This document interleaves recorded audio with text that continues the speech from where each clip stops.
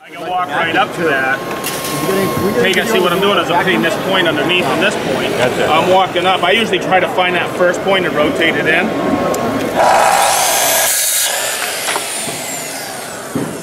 Reference point that's stationary. You have one that's movable. And if you look, I'm going to bring it right to zero. Now I'm going to get a 90 degree cut. So let's set it up. I'm just going to take the saw. The saw has two grooves in it. One that works on our regular rail, okay, and this one's a T. So this is for this rail right here. And what I'm going to do is just take it. You can see this little tab. As I slide it on, it locks the tool to the rail. So the depth adjustment on here, if you can see this, is simple. I just pinch this green part to this gray part, and this is an imperial scale for North America, which is nice. And I can just set my depth. I'm just going to set it full depth. Uh, we also have a bevel scale here. This is on this. This is my blade guard.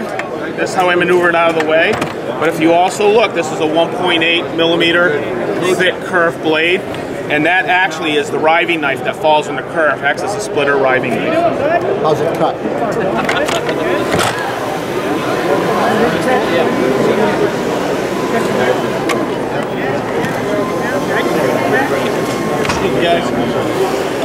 I'll just take it like this. There's my stationary point. That's my movable point. Just like that. If I need to make an angle, I'll just Show me that action just by manually doing it. Yep.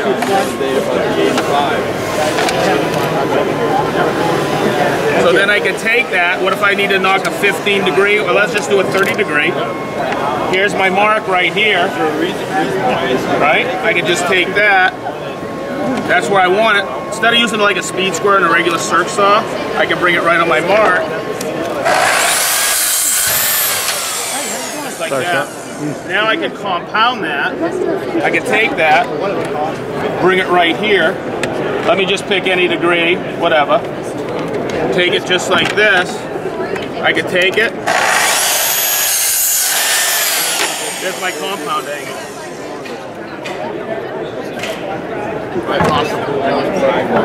also have it in cordless. That was awesome. Mike, did you get some good stuff?